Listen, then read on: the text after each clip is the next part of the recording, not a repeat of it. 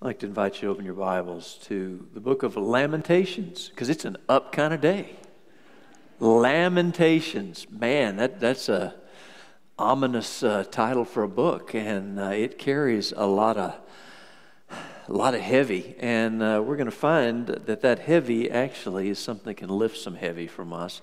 And so, Lamentations.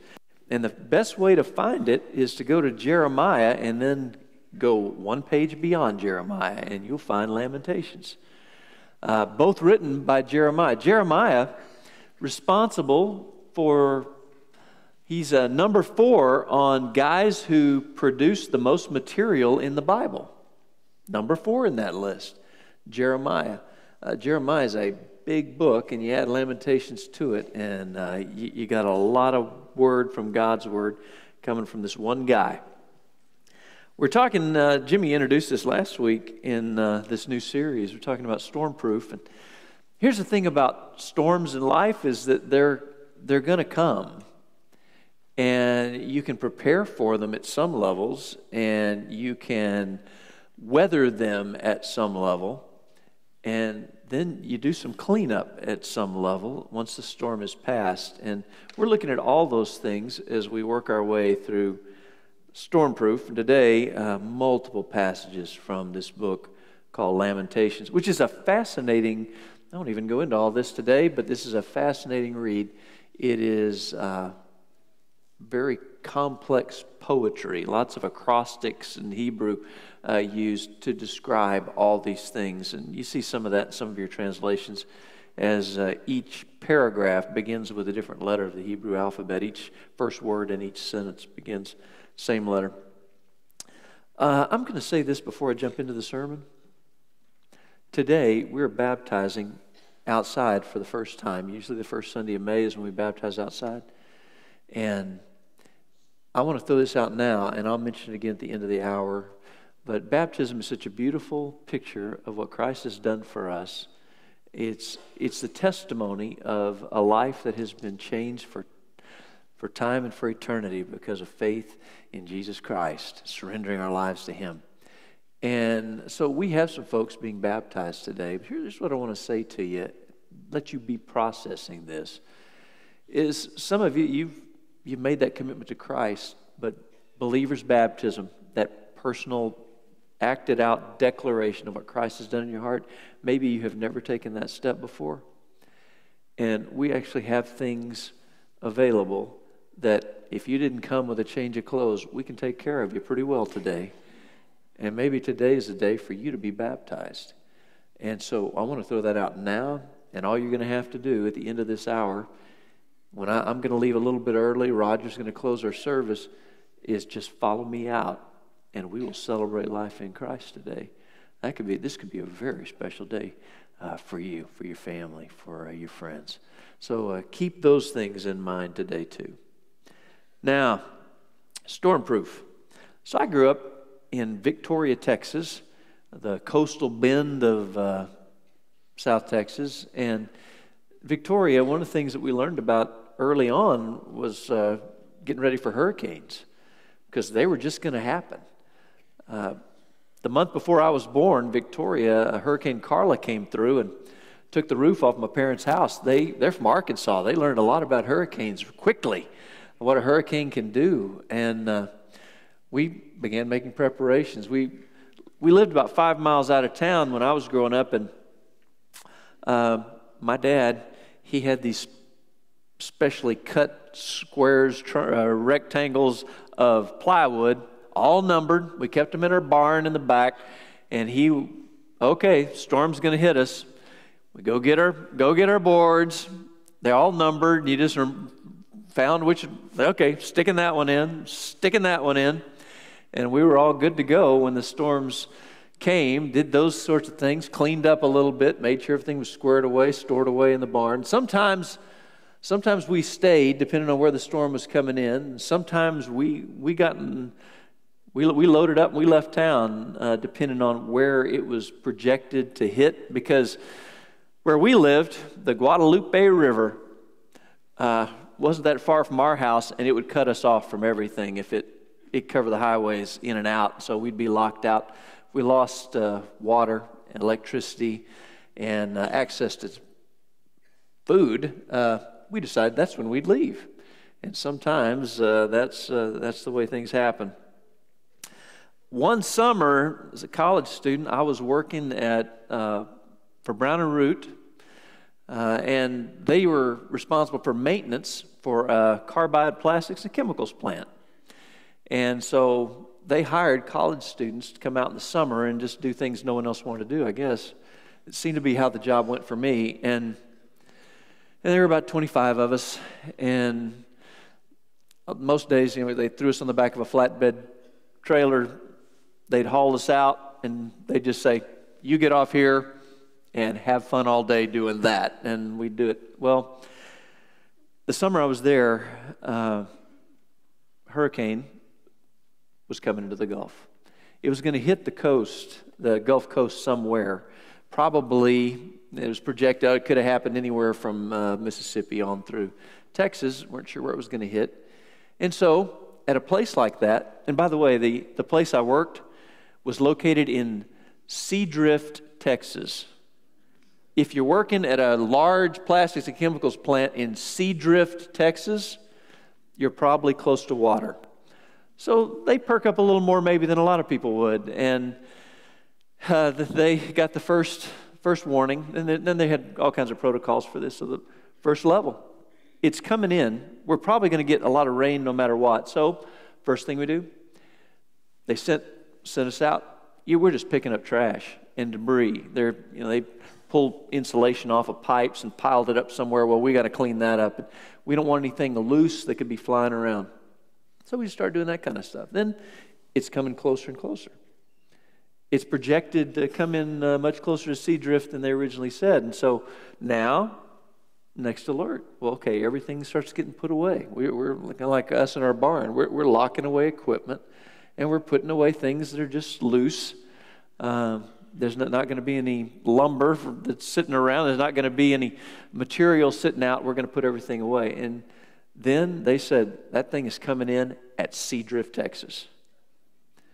And so now we are, we've gone through several layers of preparation for the storm that's coming, and now it's at the highest level. And I'll never forget the day walking along with uh, my foreman who'd been there for a long time, and he was great with a bunch of dumb college students. He, uh, he's just pointing. And so had my Channellock pliers on my belt always, because I use those just about every day for something crazy they put me on. And uh, he handed me a roll of wire, heavy, fairly heavy wire, and he said,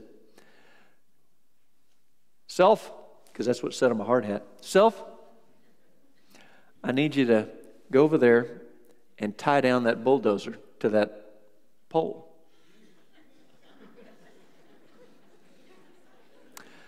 I'd taken physics.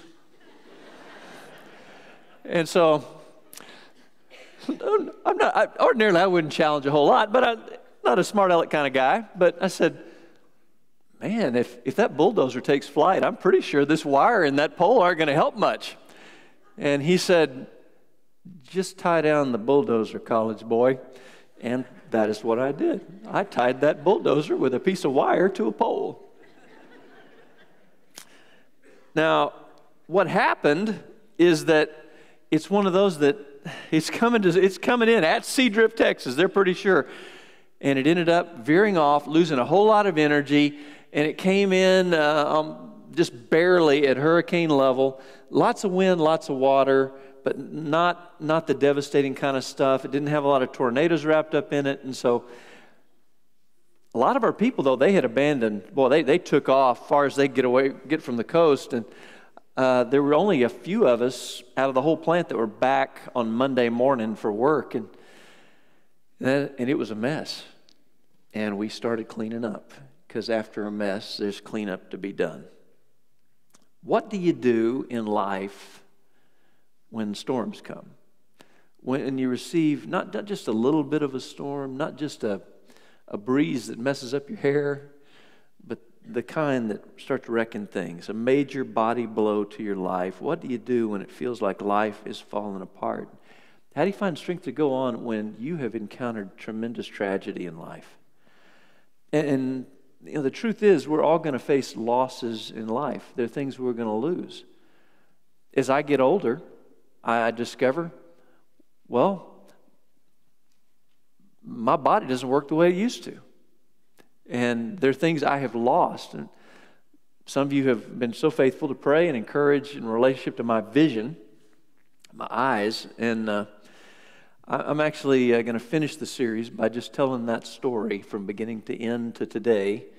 Um, but uh, loss when things were a certain way and then they're not. And that's just a physical thing. Sometimes it's, it's family things that somebody you love just isn't around anymore. And if we live long enough, we're going to say goodbye to people we love. And those things are hard things when they're there one day and the next day they're not there. And sometimes it's just when a relationship that you thought was going to be till death do us part uh, parts ways a lot earlier. And sometimes it's the doctor who says, hey, why don't we sit down and talk about this? Because uh, the word is not a good word. Sometimes just an accident throws everything into turmoil when all your future plans were rolling along this direction and then all that's out the window. And you're not going where you thought you were going in life. When uh, that job that you were pl- planning on because, well, you know, it helps what with food and uh, shelter and whatnot to have a job that suddenly that job, the rug just pulled out from under you, and you're not sure what the future holds. How do you find strength to go on? Well, that's where Jeremiah comes in. So here's this man in the Bible named Jeremiah, and he asks some of those big questions. How do you go on when, when everything is, is going bad? And he went through one of the most horrendous times in the history of God's people. So he's, this is uh, uh, what, late 7th, early 6th century BC. He's in Jerusalem. He is the prophet of God, the voice of God to his generation. Isaiah had uh, been that voice in a previous generation, and things turned around and things got better and God delivered. But that was not going to be the case in Jeremiah's day. And things got worse, and things didn't get better, and the people didn't turn around, and God's judgment was going to come. And, and it came at the hands of uh, the king of Babylon. And so he comes in to everything Jeremiah knows, everything that he loves, most everybody he's related to. And his nation was ravaged by the people of Babylon. Uh, in fact, the entire nation taken captive as slaves, the only people left, the poorest of the poor, is how the Bible describes it. He take, they're taken from their homeland and taken off to Babylon, where they are resettled. They have lost touch with everything that they know. In Jeremiah's lifetime, he has seen atrocities, he has seen inhumanities done to his people, done to his family, done to those he loved, and he's and he's witnessed the temple in Jerusalem dedicated to the worship of his God torn apart, burned to pieces. And, and so, what, what you get is he writes down this journey in that prophecy book that bears his name, Jeremiah. And after the fact, when it is all done, with great intent and purpose and structure, he writes the book of Lamentations, a book of poetry where he laments the situation. Now, he wrote what he lived and lived what he wrote in, in the middle of this national tragedy and a whole lot of personal tragedy where he lost so much of what he loved and cared about. He wrote the book of Lamentations. And uh, out of all the Bible, David will do this in the Psalms. Uh, you read through the Psalms, and sometimes he's just crying out to God. You get a lot of that with with Jeremiah, it's a, it's a guttural uh, kind of, kind of a, expressing things to God. And he says, Lamentation, I'll read several things from Lamentations, most of them from chapter 3. Lamentations 3:47 says, "We have suffered terror and pitfalls, ruin and destruction. Streams of tears flow from our eyes because of the my eyes because of the destruction of my people." And then he says in chapter 2, verse 11, I have cried until the tears no longer come. My heart is broken. My spirit poured out as I see what's happened to my people. This is what despair sounds like, what uh, seeming hopelessness sounds like. And if you came to church today and you're feeling some despair, you're feeling some hopelessness, or maybe it's just you're dragging and you're feeling low and you're discouraged for any number of reasons. Uh, know, first of all, that you probably have a pretty good reason for it. And the reason you feel that is because you have a heart and you're taking breath.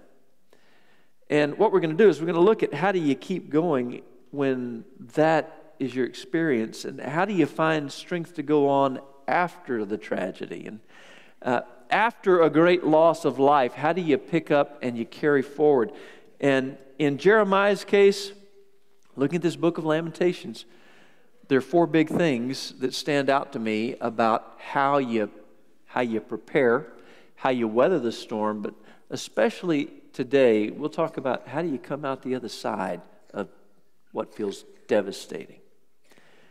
Here's the first one focus your attention on God.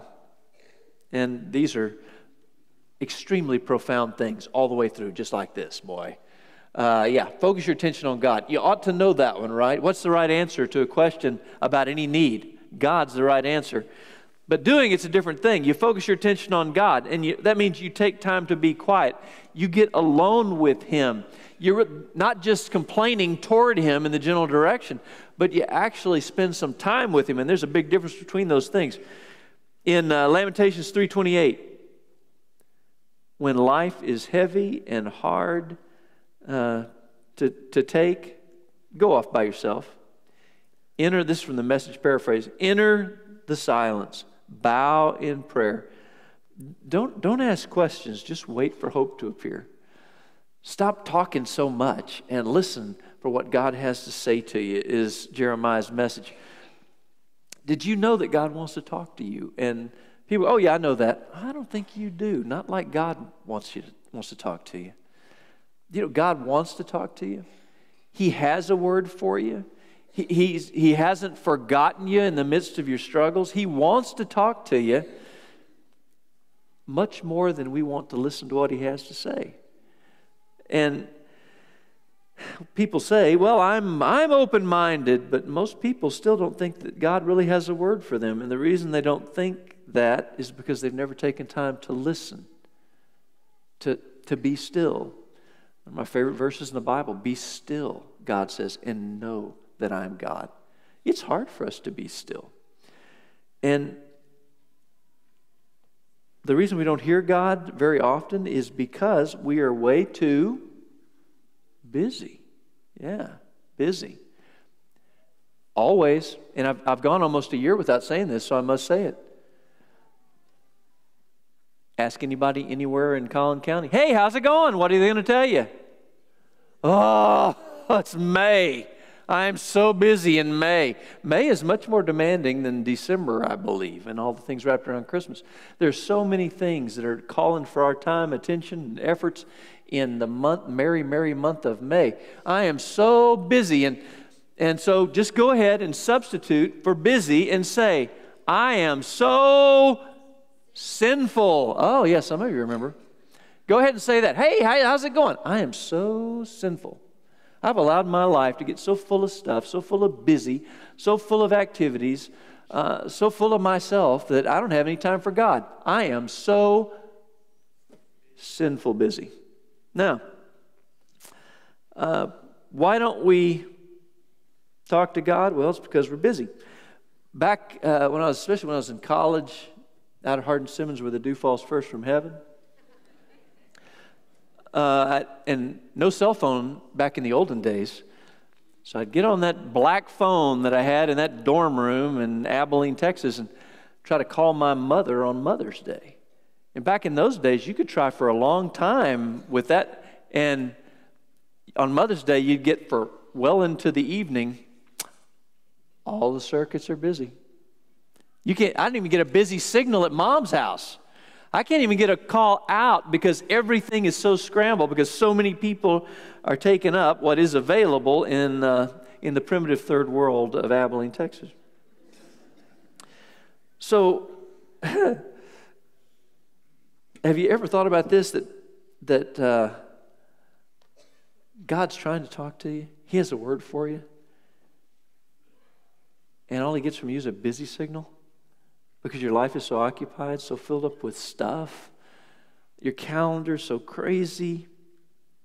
Your mind racing so fast. And the first thing, you know, when you experience, and we're just never quiet, and that's, I guess that's a part of this too. Um, when was the last time you sat down and were quiet for 15 minutes, 10 minutes? I mean, quiet. You stilled your heart and said, God, if you have a word for me today, if you have something to say to me from your book to my spirit, I am available and nothing else. Do you know how hard it is to do that for us today? You do because you probably have a smartphone. And you know, you don't ever sit down for any length of time that you don't have to grab that thing and, and start looking to see what's out there. I was, I was at an intersection uh, heading south on Greenville, taking a left onto Bethany to go to Kroger, because that's what I do on Fridays for fun. I go to the grocery store because I live that kind of life. And, and so there were three cars in front of me, and they the, the type of car and how they were staggered, I could see all three drivers from my view as number four car at that light, waiting to turn left. And the light changed, and I could see all four of them. As soon we all pulled up about the same time, light goes red. We all stop, and I saw all all three of them in front of me pull out a cell phone. And uh, the, I'm watching. The light changed. First car. And you see the shock, and he takes off. Second car. They're still on their phone. You can see, they're still on their phone. And then they take off. The third car, in spite of the first two cars just going forward, car number three. If either of these people were you, I'm looking for you. Third car. Fourth car, I'm waiting for the next light because they took up the whole time. That's and that's how much tragedy I've had this week. I think your life is tough. Yeah. So there comes a point where you just need some quietness where you, you put you put everything else aside and you just say, Hey, God, is there anything you need to say to me? Because I I'm open to hearing it. I'm available to hear it. And If you focus on God, uh, the first thing when you experience a loss or you're coming out of a tragedy, focus on Him. And that, that thing that Jeremiah said in the message paraphrase, you know, Jesus, and I'll read this from Matthew 6 6 just to give you a different feel for it.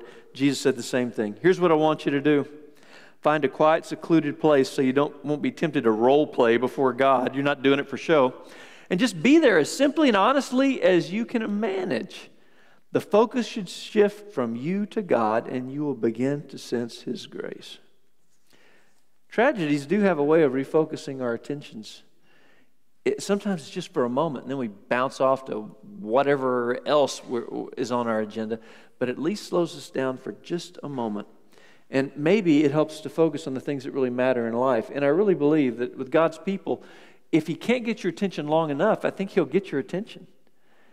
And I've had that conversation with many of you that, well, we're just blowing and going and taking care of business and busy and all that stuff. And God just shut me down. And laid in a hospital room, well, He had my attention. At a funeral home, He had my attention. And all those other things just didn't matter so much anymore. And sometimes crisis just brings us to hear a word from God that we really needed a long time ago. Second thing is ask God to remove your fears. Fear is a big part of this. In a tragedy, we feel plenty of emotions. You're going to feel grief because you lose something, confusion, doubt, anger, frustrations. And all those are emotions that you, you have to deal with, but the one emotion more deadly, damaging than all the others really is fear because fear will paralyze you. Fear of, oh my goodness, so this has happened, what else could happen? And all of a sudden you, you pull back.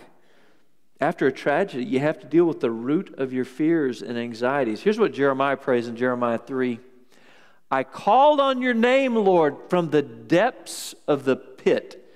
That's a great descriptive word. Any of you ever, any of you ever prayed from the depths of the pit? From the depths of the pit, you heard my plea. Do not ignore my cry for relief. You came near whenever I called to you. You said, Do not be afraid. What reduces fear in our lives about what else could happen or what things are happening or what's going to happen to me? What reduces fear is faith. And I'll tell you how this works. Faith does not eliminate feelings of fear, it gives you the courage to do what you need to do in spite of your fears, in spite of how you feel. And at those times of faith, God says, I'll give you the courage, the power, the energy, the stamina to press on in spite of the very thing you fear the most. And most of us have something that this is what I fear the most. If this happened, what would I do? The antidote to fear is a relationship to God. And the more you get to know God, the more you're going to have His truth and His love and His grace in your life. The truth will set you free. You need some freedom from, from tragedy, from fear, from struggle. The truth will set you free. Jesus said that. Perfect love drives out fear. Wow, the Bible tells us that too. Faith is our victory. Another good Bible verse. Victory, especially over our fears. The antidote is not a formula, it's not a poster on the wall, it's not a just press forward, pick myself up by my own bootstraps, try harder, just stop feeling that way. The, the cure for our fears is a person, and his name is Jesus Christ. And I'm telling you, the better you get to know him, the less fear is going to dominate your life. The Bible says, this is Psalm 34 I prayed to the Lord and he answered me. He freed me from all my fears. And sometimes I think God's just waiting for us to ask. You feel it, you know it's out there. And he, but but I, I can fix, I'm a fixer. Many of you are fixers. If I try harder, I do the right things in the right way. Maybe the reason God brought you to this service today is just to say to you do not be afraid, do not worry, don't fret, don't be anxious, and don't forget God can help you out. You do not have to be afraid, you do not have to be dominated, paralyzed, destroyed by fear. Third thing from Lamentations believe God will restore you. Uh, restore is a beautiful word in the Bible for me.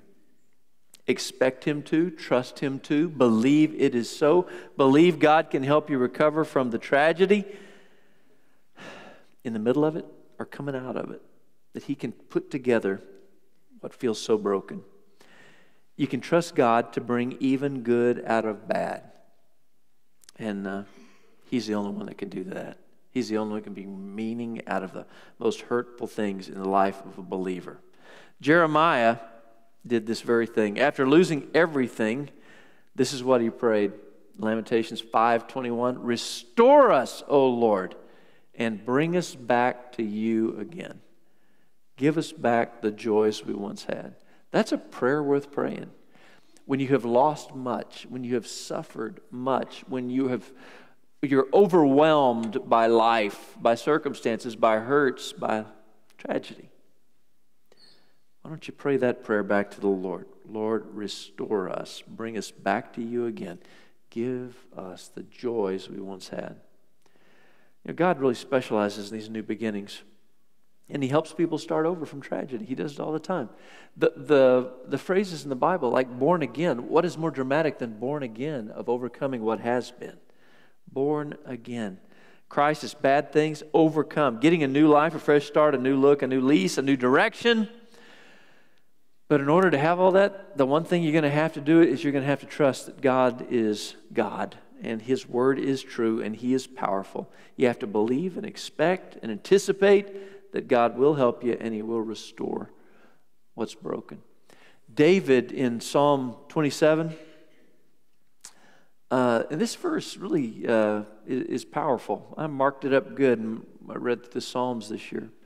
I would have despaired. Any of you despairing? Despairing, no hope, can't move, can't, can't go, can't press on, trapped. I would have despaired unless I had believed that I would see the goodness of the Lord in the land of the living. And I'm going to stop right there because this is a great word. He would have despaired. He knows God's, God's got all the eternal stuff. Some of you have thought these thoughts.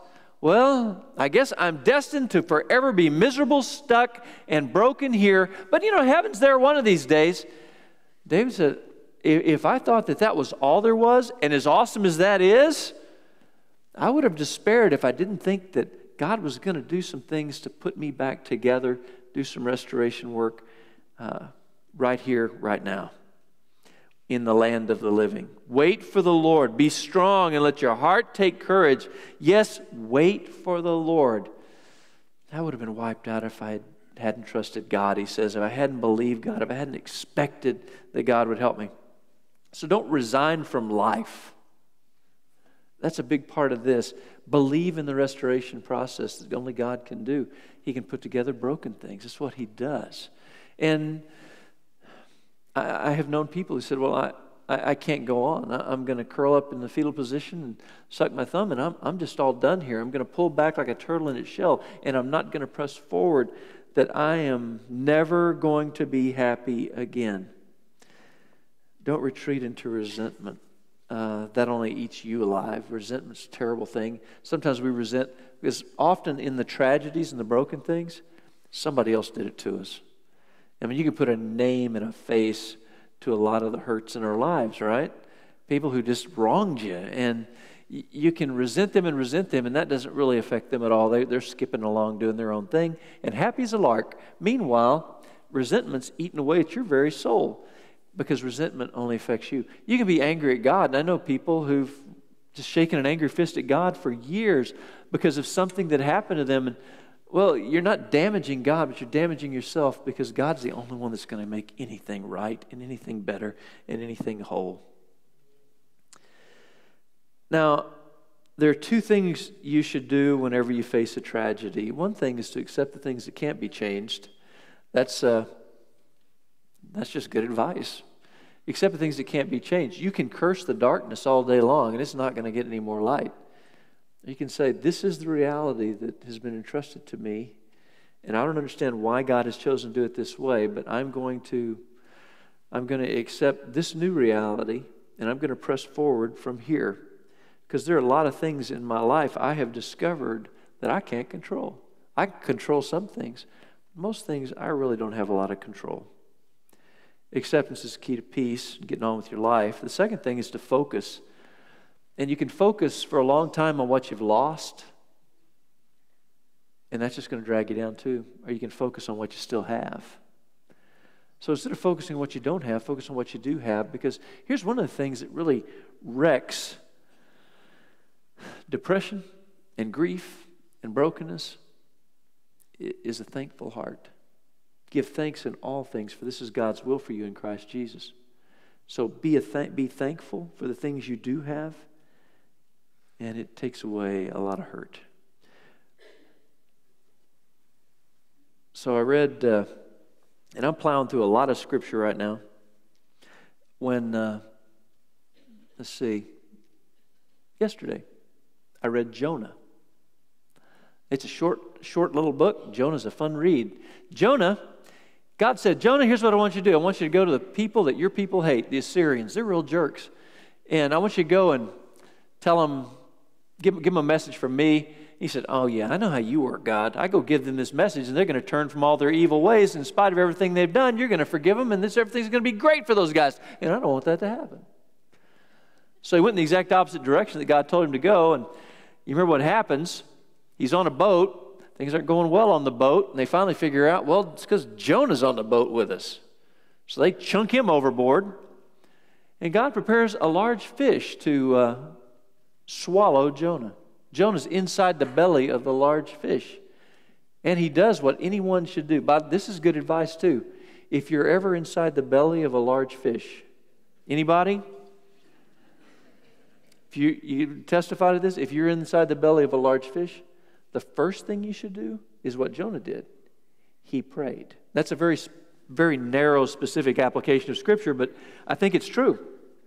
You ought to pray. And he said, As my life was fading away, I remembered the Lord, and my prayer came to you in your holy temple.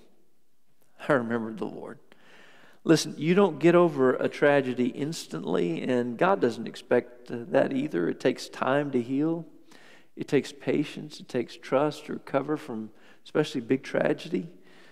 But if you focus on Him and you ask Him to take away your fears, you can expect Him to work, and He will find the way to restore joy to your life. And I, I do know that no matter what you go through, God can redeem it. Fourth thing remember in your losses, in your storm, coming out of the storm, in the cleanup, life is constantly changing. It just changes all the time. And tragedy just changes things faster. Tragedy comes unexpectedly, suddenly sometimes. And tragedy just uh, pedal to the metal on changing things. One moment somebody you love is there, and the next minute they're not there. And there's just this instant change. And there's some things in your life that are just going to change, but there's some things in your life that never change. And you need to find what those things are, and you need to anchor. Jeff, Jeff had us singing about anchors a while ago. You need to anchor your soul to those things that never change because that's what's going to keep you steady in a storm. You fast and bolt yourself to the unchangeable realities, or you're going to be blown around by life circumstances. So Jeremiah does this. And really, no matter what happens in your life, there are three things that are never going to change. There are probably more than that that we could come up with, but Jeremiah decided to mention at least three. And so those are the things we want to focus on just now. Anchor your soul to these things when the storm comes, when I'm coming out of the storm, the tragedy has hit, when the losses of life come my way, I remember that God is still in control. Uh, I find great hope in that. When it feels like it's out of control, nothing has not got off of his throne of heaven. He is still sovereign over all. And in spite of the tragedies, because we live in a broken world where uh, sinful people are, are going are gonna run into our lives. And, and sometimes broken things are going to fall right on top of us. And there are any number of things that happen because we live in a world that is stained by sin, broken by, uh, by the fall of Adam and Eve, and, and on. And so we have people with free will around us who are going to make bad choices, and then people get hurt. But God can take those things and see, still make those things work together for good to those who love God or are called according to His purpose. He still can, can do those things, but He does give us some freedoms. The reason, I think the reason our lives become so filled with fear is because there's just a lot of things that we can't control. And it's the lack of control that, that makes us fear things. Uh, all, think of all the major things in your life that you don't have any control over at all. I didn't control who my parents were. I didn't control what time period in history I would be born. Um, I didn't control where I was going to be born. But see, I was born in the United States of America. That means I won the birth lottery just because that's where God chose to have me be born. I could have been born in a third world place my life would be a lot different than this. They're, they're, these, are, these are all things you do not control. You don't control what natural gifts you were given. You don't know when you're going to when you're to die or how you're going to die. You don't control the you don't control the economy. You don't control the weather. Neither does any weatherman in DFW. We've got plenty of evidence of that. You don't control the past. You don't control the future. You can't even control what's going to happen this afternoon. The one thing you can control is how you respond to these things. Uh, of your, your attitude that would reflect Christ in relationship to these things. You cannot control the things that are being thrown at you. You can only control how you choose to respond to them. And you respond in faith, in trust, in love. The truth is, I cannot handle most things, certainly can't handle everything that's going to come my way. But I don't have to because I know Jesus is my Savior. And I recognize God will not leave me or forsake me, and He's still in control. And I remind myself, it's out of my control, but it is not out of God's control. And what I've found over time, even when things seem to go crazy, and I've had I've had a couple of key experiences in my adult life that uh, just reminded me in a dramatic way I cannot control some things. I can't make some things happen. I can't make it better. I can't make it different. But I found in both cases I can trust God. So I remember no matter what happens, God's in control. Jeremiah said this Our hearts, he's speaking on behalf of his people now, our hearts are sick and weary, our eyes grow dim with tears. But Lord, you remain the same forever. Your throne continues from generation to generation. God, I know you're still in control, even when it feels like all the wheels are coming off of the world. Second thing, we need to remember that God still loves. I, I need to remember God still loves me. By the way, He's not going to stop loving me. And God still loves you, and He's not going to stop loving you. Other people may stop loving me, but God never will. The other people are going to fail you. They're, going to come up short, but God never will. Jeremiah says, Remember, he's praying, remember my affliction and my homelessness the wormwood and the poison. I continually remember them, and I become depressed. Yet I call this to mind, and therefore I have hope. Because of the Lord's faithful love, we do not perish. His mercies never end. They are new every morning. Great is your faithfulness. You ever wonder where the hymn, Great is Your Faithfulness, came from? It came from Lamentations this book that cry, is crying out to God. That's where the declaration, Great is thy faithfulness, comes from. And that's the prayer we need to be praying every day. He'll never stop loving us.